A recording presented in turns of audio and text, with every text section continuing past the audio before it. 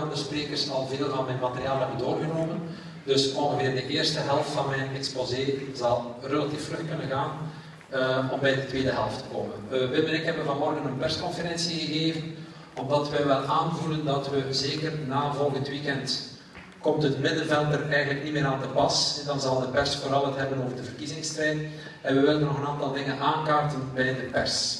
We hebben dat opgesplitst in twee dingen. Enerzijds de stand van zaken. Wat is er gebeurd sinds 14 februari? Ook wat is er gebeurd sinds de vorige horta, want er is veel gebeurd. En dan ook beschikken we nu over de bouwstenen voor een plan van de toekomst. Ligt er eigenlijk al voldoende op tafel? En we denken van wel. Oei. Ja. Dus stand van zaken. 14 februari, de regering heeft beslist om vast te houden aan het bandtracé. Wel, de regering heeft in elk geval niet gewacht op het MER-rapport om die beslissing te nemen. Dat wisten wij zelf ook al in 2012, want wat is er toen gebeurd? Eind 2011 is er een kennisgeving geweest rond de MER-Oosterweelverbinding. Iedereen mocht alternatieven indienen. We hebben toen de Meccano ingediend, Adelroos de Muzar, nog een aantal andere, andere tracés. Maart 2012 hebben wij moeten vaststellen dat de Vlaamse regering doodleuk bouwvergunning, milieuvergunning heeft verleend om een gevangenis te bouwen op ons ding. Toen wisten wij al heel goed van, men gaat hier niet voor de Meccano kiezen over twee jaar. We hebben dat natuurlijk niet aan jullie verteld, omdat jullie dat zelf ook al wisten. Maar goed, we moesten de strijd volhouden. Dus we, hebben, zijn door heel de procedure gegaan. Vergadering na vergadering. Ik denk dat bijvoorbeeld Peter en ik waarschijnlijk acht of tien vergaderingen in Brussel hebben meegemaakt met de mensen van de MER. Telkens wetende dat ze intussen eigenlijk ons ding aan het volbouwen waren. In april 2012 zijn ze effectief met de werken begonnen. Dat was dezelfde maand waar cynisch genoeg de richtlijnen van de MER gepubliceerd werden. En diezelfde maand ook kreeg TV Rots van de BAM de opdracht om de Oosterweelverbinding te optimaliseren. Dus je merkt al, twee maanden en twee gewichten. Terwijl ons eigen ding kapot gemaakt werd, haalden zij de miljoenenfactuur boven om hun eigen ding te gaan optimaliseren. Vervolgens, in het verder verloop van de MER-procedure, hebben ze ook nog eens extra budgetten uitgetrokken om hun eigen ding ter hoogte van het Albertkanaal onder het kanaal te krijgen. Wij hadden gevraagd om op diezelfde plek een volledige overkapping mee te nemen met Meccano. Dat bleek niet mogelijk te zijn. Bovendien zijn we in het milieueffectrapport afgerekend op Meccano met viaduct. Ook Oosterweel Noord met viaduct. Dus ook Luc van Remortel van Oosterweel Noord kreeg te horen dat als Oosterweel Noord gebouwd wordt, dat dan het viaduct met al zijn vrachtwagens blijft bestaan. Alsof je dat niet kon afbreken, ook in combinatie met. Dus daar zijn eigenlijk geen woorden voor. En dan hebben we ook meegemaakt dat ze in de loop van die voorbereiding van de werken de gronden begonnen te onteigenen voor de Oosterweel. De gronden werden juridisch overgedragen van de stad naar de BAM. Ehm, de werfzones zijn allemaal verankerd en men begon zogezegd de proefboringen te doen. Dus wij voelden al lang de bui hangen. En als in februari van dit jaar de regering heeft beslist, we gaan voor het, uh, het BAM-tracé, dan waren wij niet verwonderd. Meccano was nooit een optie. We hebben ook vastgesteld dat, dat ze wel heel vlug dat MER-rapport gelezen hebben. Op 6 februari van dit jaar heeft studiegroep Antea het MER-rapport ingediend. 10 februari heeft de CELMER het goedgekeurd, twee werkdagen later dus. Dit gaat om 2000 bladzijden en bijlagen. U moet maar eens proberen om een document aan dat tempo te lezen. Nog eens twee werkdagen later heeft de regering gezegd, goed, we hebben heel het MER bekeken. En uh, wij gaan dus nu voor het bandtracé op basis van dit MER, dat natuurlijk niet echt bekeken is. En luttele dagen later lag al het hele uitvoeringsplan voor het bandtracé online, voor alle adviesorganen. Dus eigenlijk op amper een goede week tijd is men geëvalueerd van het indienen door het studiebureau van het MER-rapport, duizenden bladzijden, en een week later was er een regeringsbeslissing, goedkeuring MER, en lag het uitvoeringsplan er al. Dus je moet geen enkele Antwerpenaar wijs maken dat men dit hier ernstig heeft willen doen. Goed, dat waren de twee slides waar denk ik het meest tekst op stond. Dus nu gaan we aan een hoger tempo, maar dit was toch nog belangrijk om het dus eh, in herinnering te brengen. Het uitvoeringsplan, waar Philippe van de Kastelen straks een en ander over zal zeggen als jurist, dat zal de eerstvolgende procedure zijn, procedurele stap. Het uitvoeringsplan van de Oosterweel staat al enige tijd online. En daar staat iets interessants in. Daar staat gewoon vlak af in dat het banktracé een nieuwe internationale snelweg door de stad wordt. Dus men verbergt het niet En hoe ziet dat eruit? Ik heb het vorige keer ook getoond. Dit is de werfzone voor die Oosterweel. Dus je merkt, mensen die denken dat die Oosterweelverbinding, en veel mensen in Vlaanderen denken dat, die denken dat die Oosterweelverbinding zo ergens een tunnel of een viaduct is van het Noordkasteel tot ergens aan de ring. Wel, de Antwerpenaren weten intussen dat die Oosterweelverbinding eigenlijk begint in Zwijndrecht en eindigt voorbij het rivierenhof. Daar hebben wij tegenovergesteld het mechanotracé met heel andere uitgangspunten, waarvan de belangrijkste waren geen nieuwe verkeerswisselaars in de stad en ook we streven een vereenvoudiging van op- en afritten na. Waarom hebben we dat gedaan? Omdat we natuurlijk de eyes on the prize hadden, namelijk de overkapping. Dit is uh, opnieuw een heleboel tekst, maar het zijn vooral de twee rode lijnen die van tel zijn. En ook om van die vraag af te zijn. Men heeft vier jaar lang gezegd, de mecano werkt niet. Nee, alle kabinetten zeiden, het Vlaams Verkeerscentrum zei, uh, we moesten maar op een knop duwen ginder en er kwam uit, mecano werkt niet. Wel, het MER-rapport heeft in elk geval zeer scherp vastgesteld dat, dat het mecano-tracé wel werkt. Ook het Oosterweel-Noord-tracé, overigens, werkt zeer goed. Dus men stelt een zo significant verbetering van heel het Antwerpse ringsysteem en ook een positieve impact op verkeersveiligheid, op daling trajecttijden, snelheid. Wij beantwoorden volledig aan wat de Vlaamse regering eind de jaren 90 als toestellingen heeft naar voren geschoven voor een nieuwe oplossing in Antwerpen. Dat is van belang. Waar zij niet aan beantwoorden, dat is aan onze criteria dat er geen nieuwe verkeerswisselaars in de stad Antwerpen mogen bijkomen. De Oosterweelverbinding is eigenlijk één opeenvolging van verkeerswisselaars. Een zeer belangrijke is die in het Noordkasteel. Dirk heeft het er al over gehad. Dus gaan we voor de linkerkant of gaan we voor de rechterkant?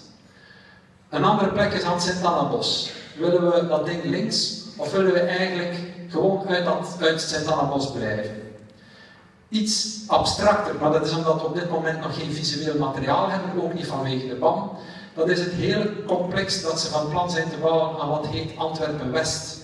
Dus dat is uh, de plek waar de verbindingsweg tussen Linkeroever en Zwijndrecht aantakt aan de E17. Daar wil men ook een rotonde bouwen, parallelwegen, een nieuwe verkeerswisselaar. Men zal de autostrade daar wel downsizen, maar wat men er niet bij zegt, dat is dat men daar toch eigenlijk heel wat parallelwegen gaat bouwen.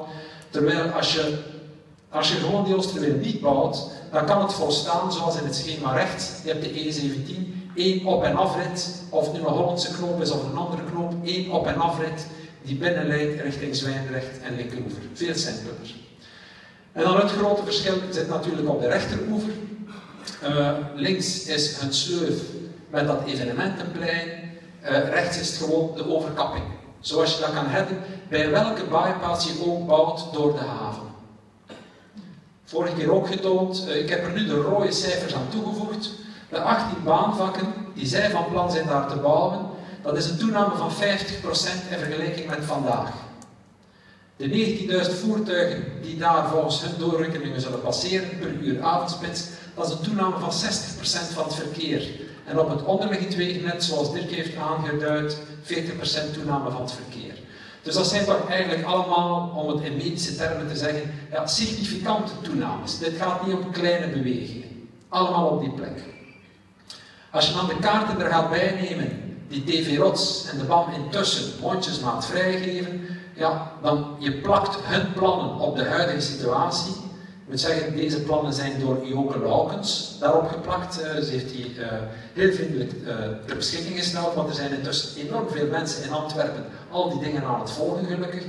Wel, als je dan de Oosterweelverbinding en hun R1 gaat plakken op de huidige kaart van Antwerpen, die rode lijnen, dat is de dimensie die zij daar willen bouwen. Dat is een verdubbeling van wat vandaag het viaduct is. Dus heeft Ericsson dat in 2009 blootgelegd, hebben wij dat in 2008 blootgelegd, hebben we later referendum gehad rond die 18 rijstroken. Ze liggen er nog altijd. En ze liggen in open sleur vandaag. En ze komen een stuk dichter bij de mensen die in het slachthuis zitten wonen. Komt daarbij de Hollandse knoop, waarover daarnet uitleg. Stad Antwerpen heeft zelf al geconcludeerd twee jaar geleden dat een overkapping van de Antwerpse ring zeer nuttig, zo niet zeer noodzakelijk is. Er is een overkappingsonderzoek geweest. Men heeft vastgesteld dat als je de Oosterweelverbinding bouwt en heel het masterplan van de Vlaamse regering, dus dat is nog iets meer dan die 4,9 miljard, dat je na oplevering van al die werken in verschillende zones van de Antwerpse ring nog altijd zeer zwaar boven de Europese norm ligt. En dat je bijvoorbeeld zelfs in Borgerhout uh, op het vlak van stikstofdioxide nog 45% reductie zal moeten nastreven. Na heel het masterplan. Dus dit illustreert hoe noodzakelijk heel die overkapping en het hele concept van Ringland is. Heel noodzakelijk, en wat zeggen ze in het overkappingsonderzoek?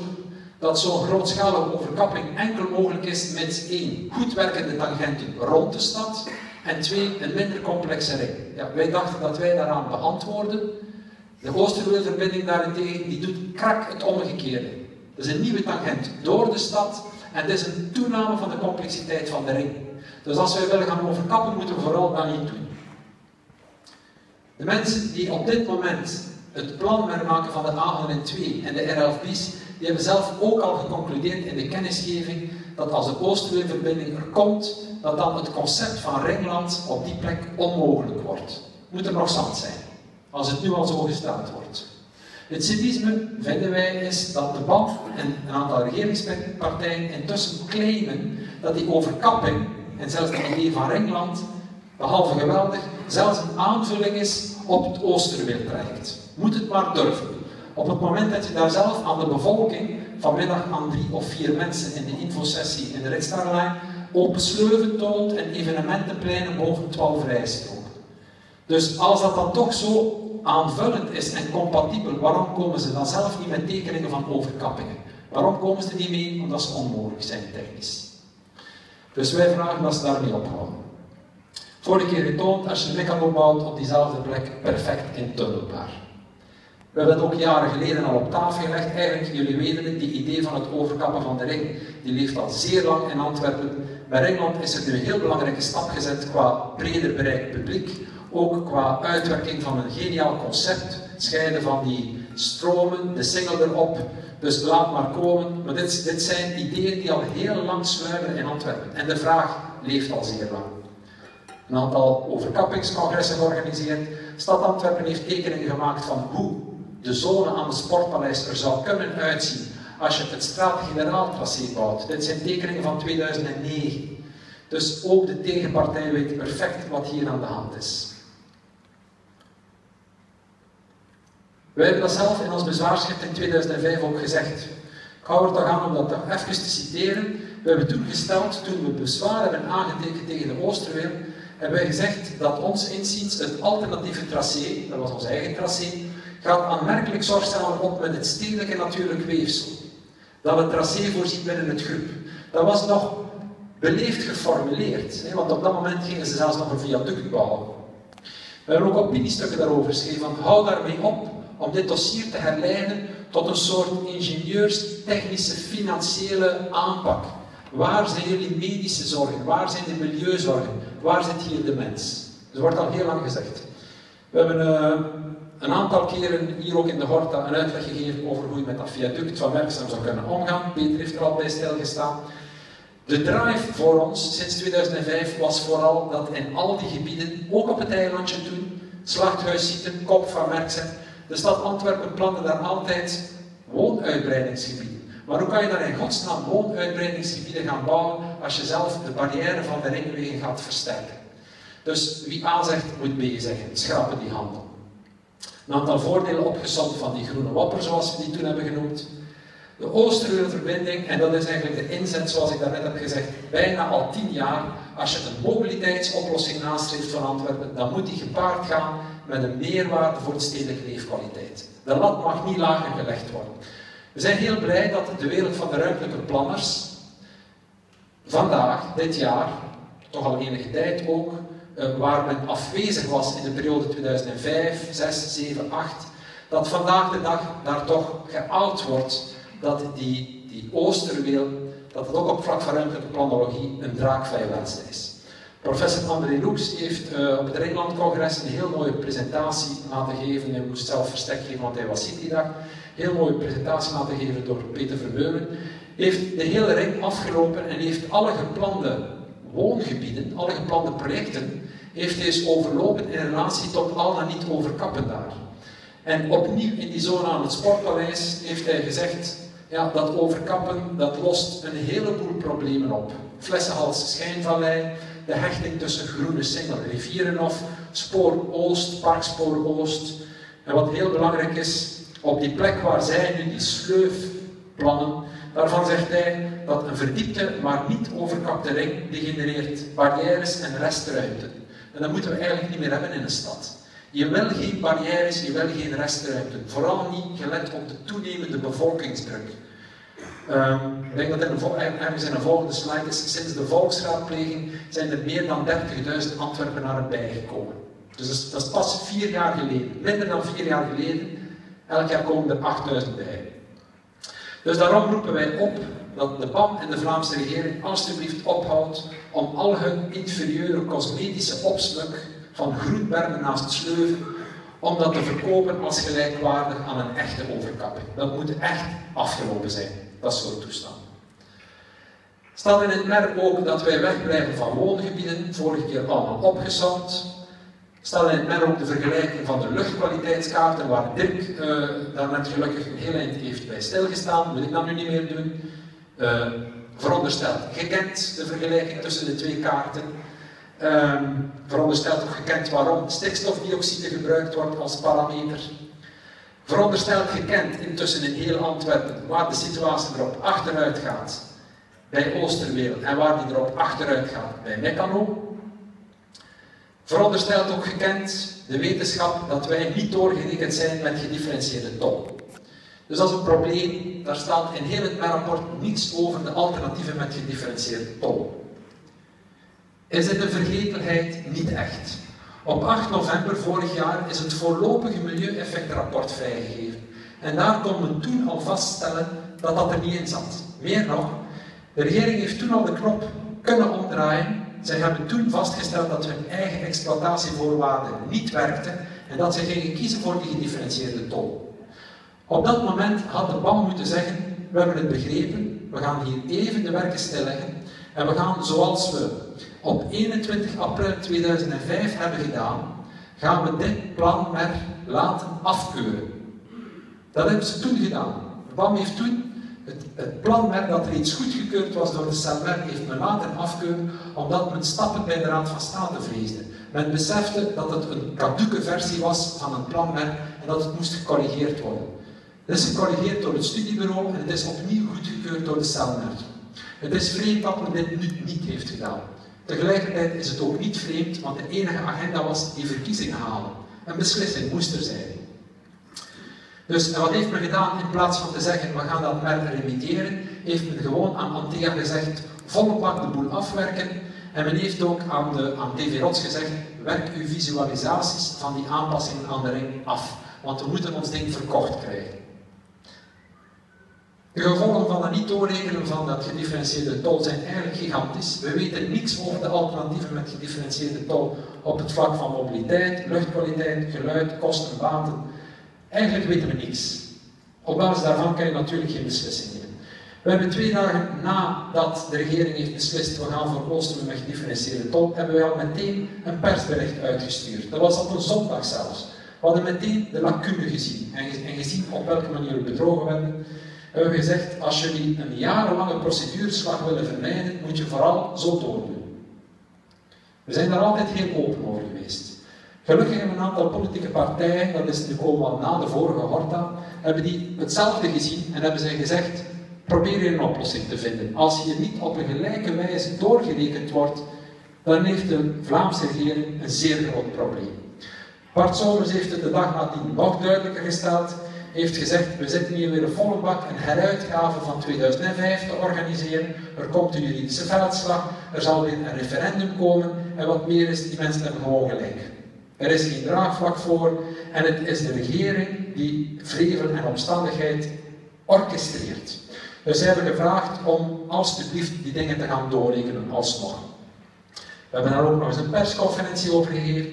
Geen enkele reactie bij de BAM en ook geen enkele reactie bij de regering.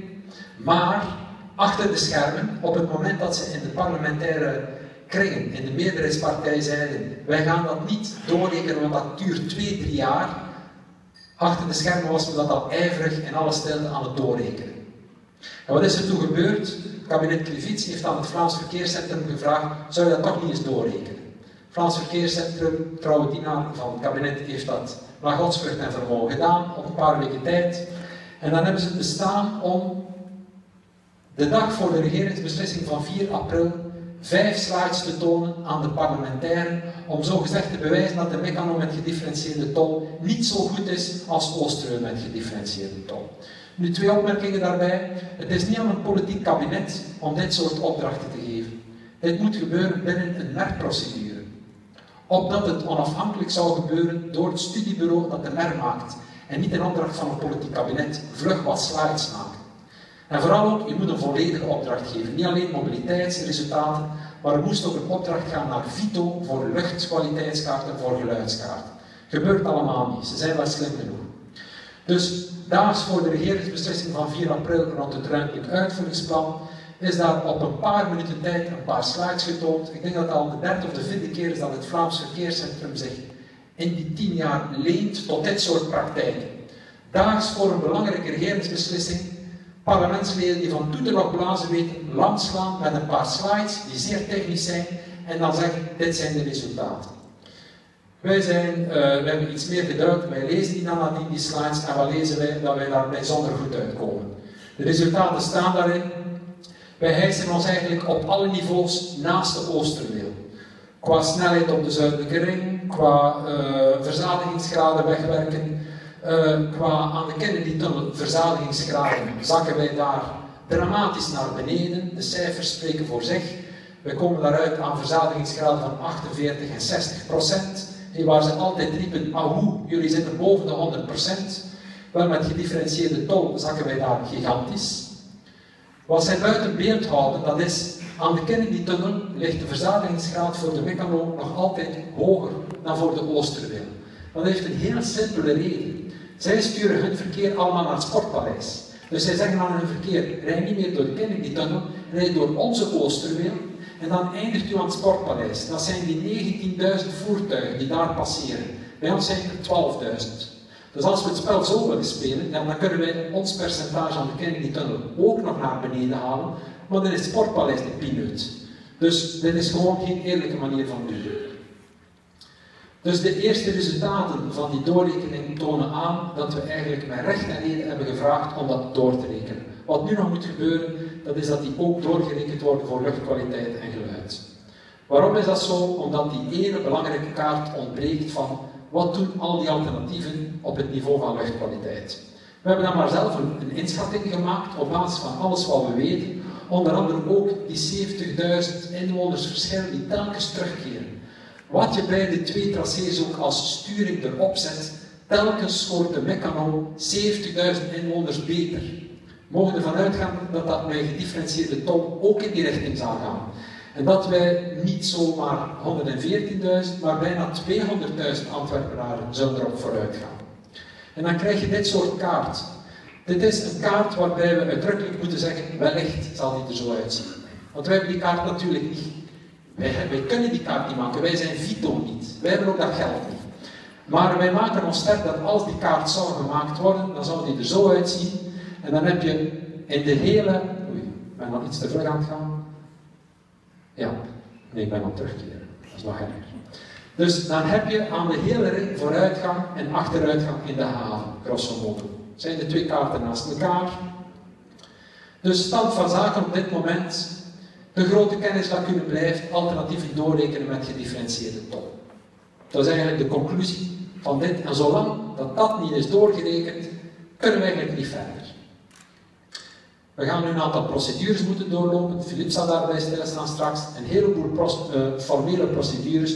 We gaan dit ook allemaal online zetten, dus dan kunnen jullie nog eens op het gemak dan bekijken in de loop van de volgende dagen. Ik ga hier niet bij stilstaan.